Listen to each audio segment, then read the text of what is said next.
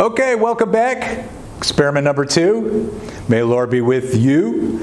And this is the tortoise and the hare, but I had to give it a much more generic type name. So it's also called, and it's called, uh, it's called uh, one-dimensional uniform motion. All right. So over on the table over here, if you were doing this on campus in lab, you would go out in the hallway, and I give you a long tape measure. And this is one of the cars right here. So this is the tortoise car right here. All right. And this is the hare car. All right. Also, if I turn them around, they will cross at some particular point. Notice they're both going at uniform motion. Woo, get back here. Until something like that happens. All right. So anyway, uh, we would go ahead and measure the motion of each of these cars, and then your instructor will give you what are called initial conditions. So when you go ahead and plot that on your graph, and and uh, when you write up what you think your testable question is, you'll then discuss that in, in class and put that part together. So I'm really not going to talk about that directly right here. So when you read the testable question in LoudCloud, you'll have looked at the video, see basically what the setup is and how the measurements are going to be made, but then you're going to decide what relationships you're going to be looking at and how you're going to explain different things. For instance, these two cars are identical, but they're moving through space at totally different rates. How come? Okay, this is something you can change. So I want uniform motion. How can I make this thing undergo uniform motion? Should be, should be thinking about that in, in your design for the experiment. All right. So uh, in this experiment, you're not going to use these cars unless you happen to have them at home. If you have two of those cars at home, you could use that. What you're going to use is just some ball you can find at your house. It doesn't matter as long as it's, what's nice is it's smooth and it's hard okay, and it's round. Now, if it's a solid ball, uh, then you'll you can test uh, its speed in, a, uh, in the lab. You'll see how you can test the speed, but you'll have to know if it's round or not. And uh, because if you use like a basketball, it's not solid. It only has a mass shell around the outside. This is an eight ball right here. This is also a solid ball. And what you're going to do is, first of all, you're going to make sure the table you're on is flat. So you can see right here, you see the balls rolling off the edge of the table. So you could go underneath the table here and then just put some paper or something underneath the wheel.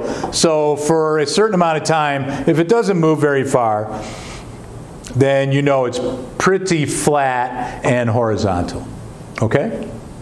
All right, that's the first part. The second part is you need a scale.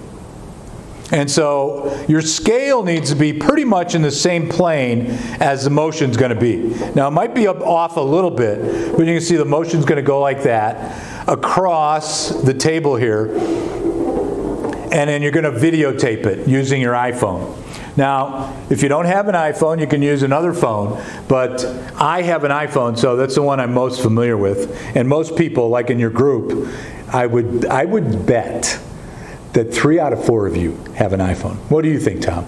At least half. Oh, at least half. at least half. Okay, now if you go to settings, you can actually set um, how many frames you want your video camera to take uh, per second. So there's a bunch of different possibilities. And for instance, if you want 1080, uh, you could do it at three, 30 frames per second if you want 1080 at 60 frames per second. Actually, the more frames, the better. Okay, more frames better. So that's pretty good. There's even, if you want 4K at 30 frames per second, you can pick that. You can also pick slow-mo video, and that's 720p uh, at 240 frames per second. That's overkill. That is definitely overkill.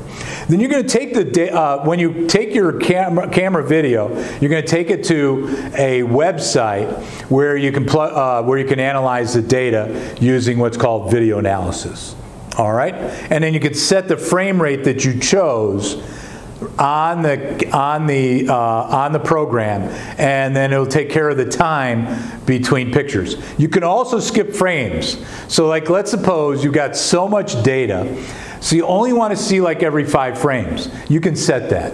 So every time you click on the ball in your video camera, your video uh, from your camera, every time you click on it, it'll jump to five frames in the future, five frames into the future, and so on. And you can set all that on your video analysis. So you need a tortoise type motion, and you see in this case, you could, you could develop like a little ramp, all right? You could have a little ramp to roll the ball down, so when it comes down to the table, it's going at a certain speed. Okay? So like you get yourself a book or something like that, tilt it, and then you can get a nice speed like that. But what you got to do is wherever you let go of it, uh, you really just need to measure the height to the table where you let it go. If you measure that distance right there, and then you also measure uh, how far it traveled down this little ramp, you can get a value for the speed of the ball that's independent of the experiment you're doing. Okay, and that's all on the lab sheet to show you how to do that. But anyway, if I tilt this higher, you see it's going to have a higher speed. If I release it from the same spot, it's going to come down. And then you just videotape this nice motion so you can just keep doing it until you get a nice, you get a nice um, roll. Uh, you could use like a clipboard. Clipboards are nice because they're not very thick. Or a cookie sheet. You know, you're engineers, so you guys have to come up with how you're going to do it. But, you, but remember, you also need this. It's good to have this in the background so the ball goes in front of it because you need to tell the scale uh, to the video analysis program, and this is like a half a meter right here. So if you use like an 8.5 by 11 piece of paper, you could have 11 inches right here and just tape and fold it, tape it down, or whatever you want to do. Just put, you know, whatever you want. By the way, you guys are the engineers.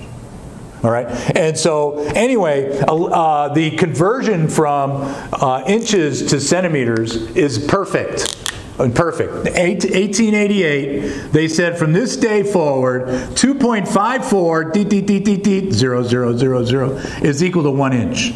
Okay? So this centimeters. So uh, you can easily convert uh, 8.5 by 11 sheet of paper. The long side's 11 inches.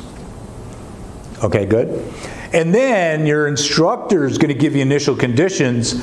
So once you get your data analyzed in video analysis, you can put it somewhere on the on the uh, where t equals zero. It's like located at minus, uh, let's say, 34 centimeters. Uh, the other one was at t equals zero is located at positive 56 centimeters. So then you can actually have these two objects moving in opposite directions and predict where they're going to crash. Now, unfortunately, we can't actually conduct that in our lab because we, it's, we, don't have it, we don't have the cars, okay? So it's hard to reconstruct that doing it at home. So basically all you're going to do is a calculation. I believe one of your CAP problems is that calculation. So we probably won't even have you put in your lab report. But that's it. That's the experiment. All right, so over now.